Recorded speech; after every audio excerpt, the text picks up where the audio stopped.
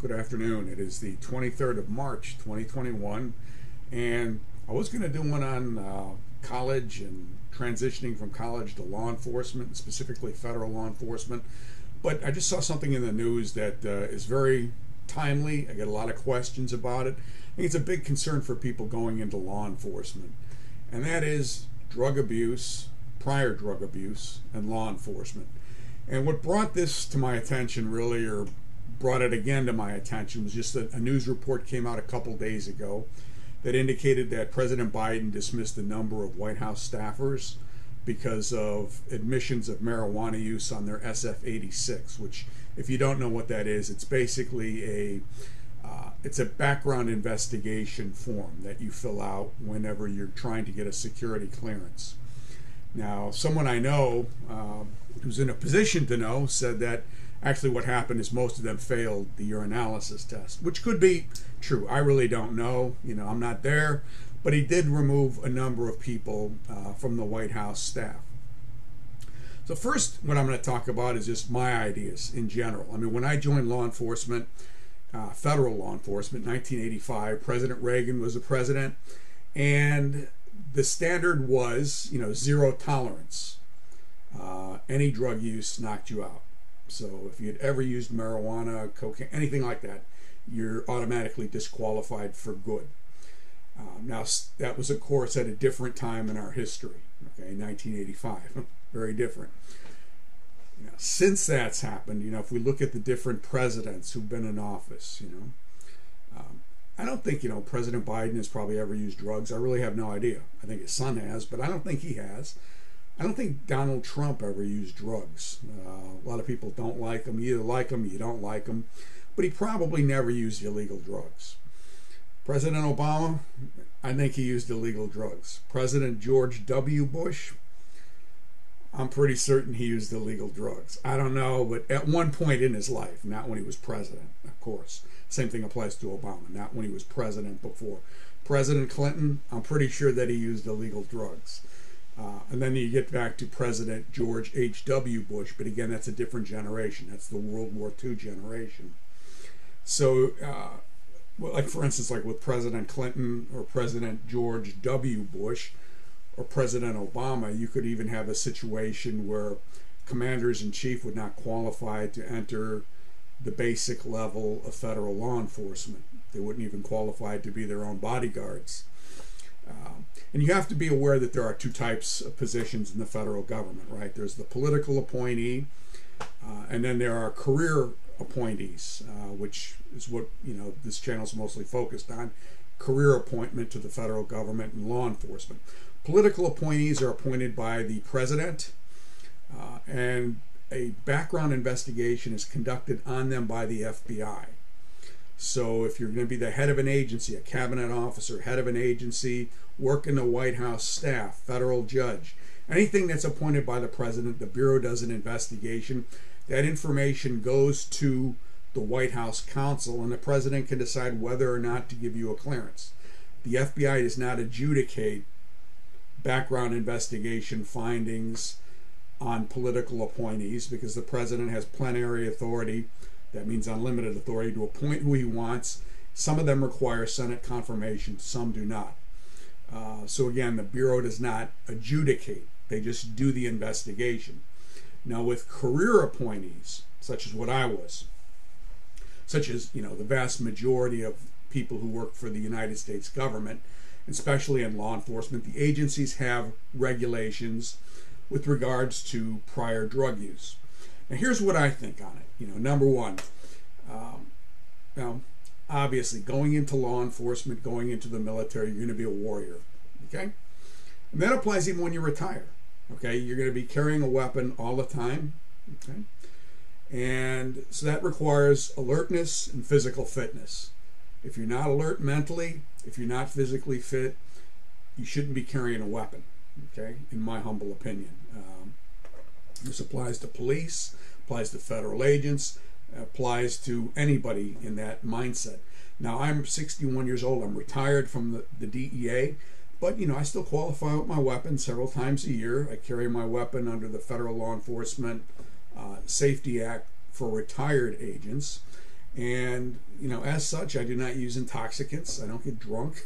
I don't certainly never don't use illegal drugs.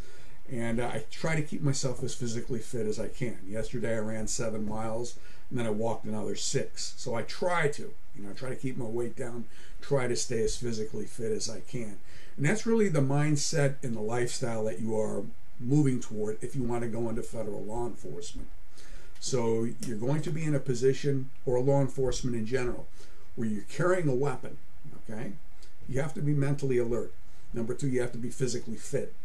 Okay, uh, those are two requirements, like it or not. So my opinion, you know, if a person uses drugs, you know, if an applicant came to me and you know, the first question is, do you use illegal drugs? And if the answer is yes, then they can't get in. Now, if the answer is that they had used drugs in the past when they were a kid, let's say in high school or something, or maybe in, in college or something, when they were not in a position of trust, I would let that go provided they've learned their lesson they don't do it now. Okay? So that would be my take on it. But what we're going to do is look at each of the agency standards the Justice Department standards, the Capitol Police standards, the Secret Service standards, and Customs and Border Protection. Now, with regards to state and local, each one has its own requirements. Okay, so let's let's do that right now. The Justice Department has probably the most restrictive uh, drug policy uh, with regards to applicants, and this would apply to the FBI, DEA, ATF, United States Marshals. It also applies to the Capitol Police, even though they're not part of the Justice Department. And uh, basically, this is taken from the DEA website, but it's pretty much the same in all of those agencies any Justice Department agency, and also for whatever reason, the Capitol Police have um, seemed to have borrowed this uh, drug standard. And basically, the, the requirement is um, there cannot be any use of marijuana or anything containing marijuana within three years preceding the date of the application for employment. And that includes cannabis, hash, hash oil, THC in both synthetic and natural forms. And this would apply, of course, to even to states where drug use or marijuana use is, and I'm putting in quotation marks, legal. And the date uh, would be the date required. The three years is the date of the job announcement. So in this case, the job announcement was issued the 15th of March 2021. So you just go back three years, 2019, 2018. You know, so from March 15th, 2018 to this date, if there's been any use of marijuana during that time, that would disqualify you. Now, if the person was selling drugs, you know, obviously that they're not going to uh, get hired. Um, if there was heavy drug use, okay, uh, they would not be hired.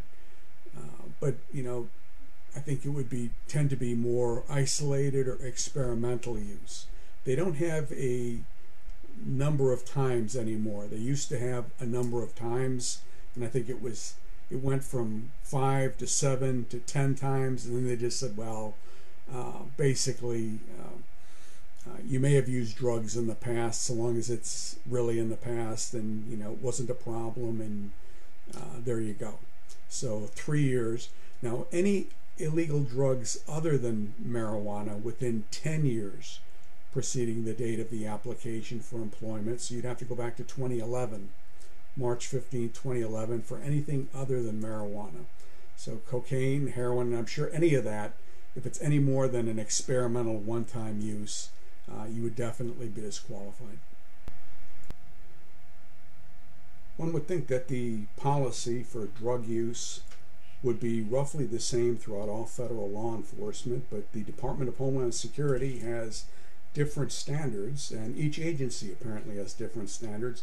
This is the drug policy statement for the United States Secret Service and would apply to special agent applicants, uh, protective service applicants, as well as uniform division. And basically, with regards to marijuana, it says that uh, if a person has used marijuana, and this includes cannabis, hash, oil, medical marijuana, tetrahydrocannabinol, in both synthetic and natural forms, there's basically a sliding scale. So if the person was age 24 or younger, um, then it would be the date of application for employment should be at least one year since the last use or purchase. So again, if your age is 24, let's say you're 25 and you're applying to the Secret Service, then you get one year, you know, because if you were 24 or younger when you last used the drug, uh, your date of employment application has to be one year. 25, it's two years. 26, it's three years. 27, it's four years. And 28, it's five years. So basically, that uh, includes so called medical marijuana in states where marijuana is lawful. Uh, it does not say how many times a person could have used the drug. It just says age when last used or purchased so not current age. So again, um, you know, suppose the person is 24 and applying for a job, well then your last use could not be more than a year ago. So today is the 22nd of March 2021. Well, that would mean it would be the 22nd of March 2020. Now again, if you're 28, you know, you'd have to go back five years. So that would be you know, 2017, something like that. And the same applies to older applicants. And that's that with regards to drug use. And this policy was revised on April of 2017. Okay, now with regards to, it says here an applicant who has sold, distributed, or cultivated marijuana could still be eligible for employment. This is amazing. Uh, provided you did so without profit. Now, selling drugs and selling marijuana is a felony under federal law now I was going to throw in my own two cents here. Anyone who sells drugs and doesn't make money off of it, um, you know, is committing a felony and not making any money off of it. It's like robbing a bank and giving away the proceeds. Doesn't make a lot of sense to me, anyway. But uh, it says here that if you sold it and didn't make a profit off of it, so long as you've done so more than 10 years ago, you'll be considered for employment. Okay. Uh, and the same as distributing for recreational use. So, so long as it's more than 10 years since you've done that, um, you're good. Um, if it's less than 10 years, you're going to be disqualified. Steroids, it's five years. Um, so uh, there you go. And if you've ever sold, distributed, or manufactured steroids, you're out. Inhalants, uh, a whole bunch different things, paint thinners, glue, gasoline, correction fluid, felt tip markers, everything that you can think of. Um, it has to be five years since the last use of inhalants. So um, hopefully you weren't doing that. Prescription drugs, and this only accounts for only matters if the you don't have a prescription for it. Obviously, if you have a prescription, you have your tooth pulled, and they give you, you know, something to kill the pain that's a totally different story. Nobody's referring to that. What they're referring to is drug use without a prescription. And um, then basically, it, again, you have the same sort of thing. You have this, uh, I would call a sliding scale. If you were 24 or younger, it's one year, 25, two years, 26, three years, 27, four years, 28, five years if you need more time, just lock on the screen and make it as big as you can. Please don't ask me, you know, if I used drugs when I was, you know, 25 and I'm 30. I don't, just look at this policy, and this will. I can't answer it any better than this. Okay, uh, if you have a prolonged use of a drug without a prescription, regardless of whether it was used for its intended purpose, then it has to be five years. So prolonged use, I guess prolonged would be, you know, I don't know. Um, and then anyone who has ever sold or distributed prescription drugs could be eligible for employment as a Secret Service agent, provided you didn't make money off of it and you did it more than 10 years ago. Now, you're not going to convince me that someone who was selling Xanax or Oxycontin didn't make money off of it there's the old saying, you know, I was born at night, but it wasn't last night. But uh, but if you fall in that in that category, well, it's 10 years. Okay. then they have hard drugs, and they consider that to be Schedule One, Schedule Two drugs, uh, which is includes amphetamines, crack, cocaine, heroin, LSD, MDMA, meth, PCP, but does not include marijuana, steroids, prescription drugs, or over-the-counter drugs. MDMA, ecstasy. Okay, uh, it has to be five years since the last use, and the person could never have sold, distributed, or manufactured ecstasy. Okay, cocaine. Um, the let's see here. Other than crack cocaine. This is defined as other than crack cocaine. It has to be 10 years from the last use or purchase, and you're ineligible if you've ever sold, distributed, or manufactured cocaine. What about drugs other than MDMA or cocaine? Okay.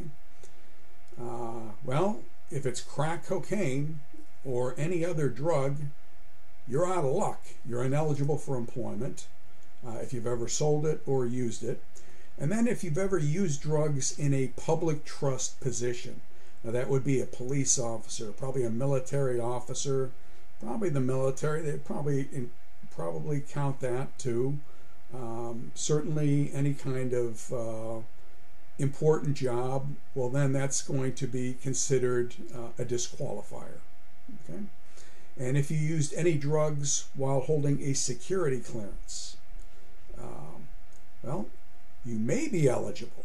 You may be eligible, but the following restrictions apply. If you were in a public trust position, has to be 10 years, and um, yeah. So basically, it, it's uh, for all intents and purposes. I think if you have a security clearance and you were using drugs, they're not going to hire you. Okay. Okay, with regards to the customs and border protection. Um, so this would apply to CBP officers and Border Patrol agents. And um, that's different than the Secret Service. Uh, they do have guidelines, and it says if an applicant has used marijuana, steroids, or misused prescription drugs within the last two years, uh, then that's a disqualifier. And CBP guidelines also disqualify anyone who's used Schedule 1 through 5 drugs to include cocaine, methamphetamine, or heroin, which is misspelled, misspelled on their website, within three years prior to your application for work for Customs and Border Protection. Now, why would they have such a so called liberal policy vis a vis like the DEA or the FBI? And here's the answer to that one. Okay, and the answer is quite simple. Um, it's that the Border Patrol has a hell of a time finding applicants. And that's about the easiest answer I can give. Uh, as of 2011, they were mandated by Congress to start polygraphing every applicant for the U.S. Border Patrol, and two out of three were failing. So this explains why they have more of a liberal policy. Uh, what is the purpose of the, the polygraph if you're taking people with I think they're really, really, really concerned about people coming in who have ties to drug or alien smuggling organizations, you know, because that had become a major problem at some point, both with customs inspectors or CBP officers and with Border Patrol agents. They had a bad corruption problem when I was in El Paso, and which was in the 90s. It was a long time ago, but uh, but they still did in the 2000s. In, in 2011, Congress cracked down, required them to take polygraphs, raised their pay.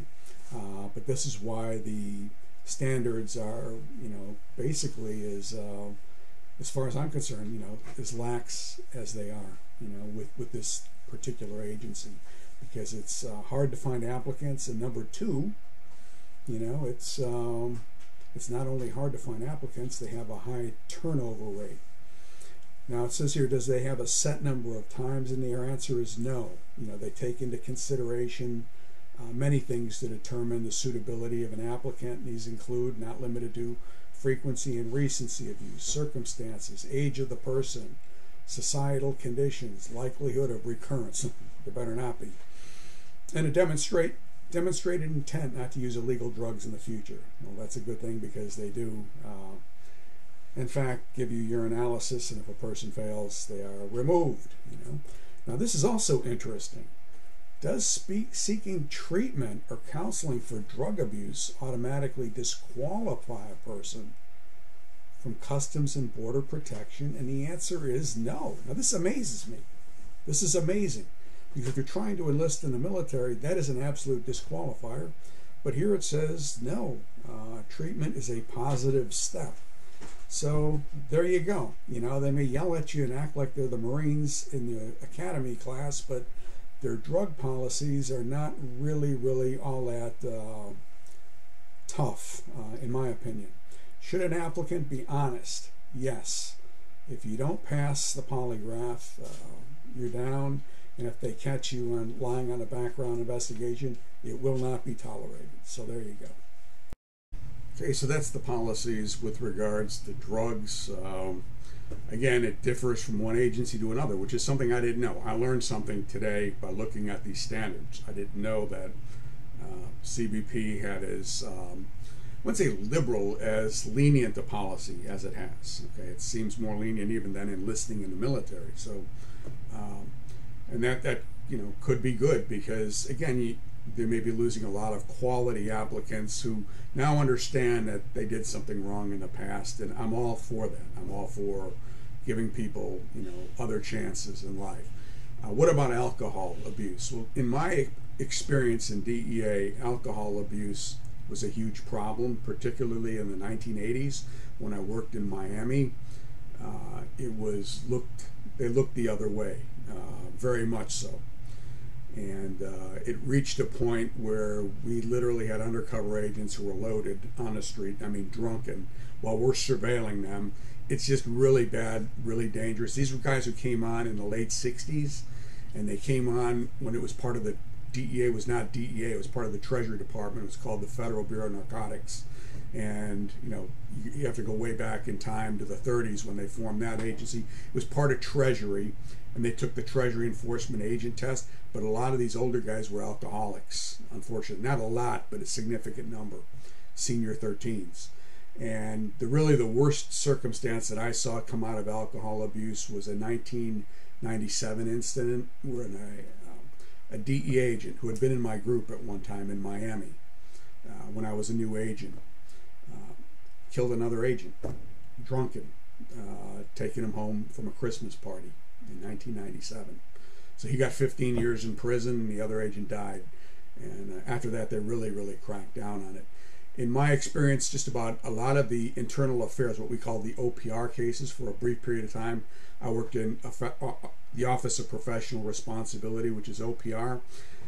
Generally, agents get into trouble over the misuse of informants or alcohol related incidents. That's when the agents got into trouble. Drinking, or misuse of or misconduct with an informant. But drinking, you know, they, they end up pulling out their gun in a bar or something like that. Again, intoxicants and firearms, intoxicants and authority, intoxicants and, engaging in life and death operations, they don't go together. So uh, hopefully you've got something out of the video. Remember, you're going into a warrior, a law enforcement which is you know the same as the military. It's a warrior mindset. You have to be in shape physically. You got to be in good mental shape. So God bless all of you. I hope this was helpful.